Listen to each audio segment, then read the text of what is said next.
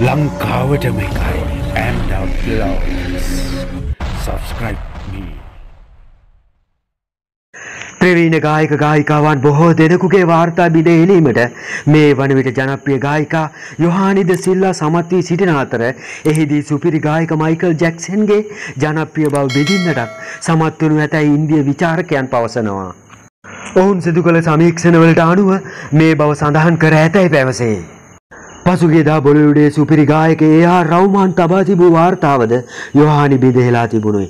සියල්ල සමග යොහානිගේ ආදායම ගැනද දැඩි ලෙස කතාබාකට ලක්වමින් තිබෙන අතර ඒ අනුව පැවසෙන්නේ එක රැයින් ඇය කෝටිපතියන් අතරට එක් වූ බවයි.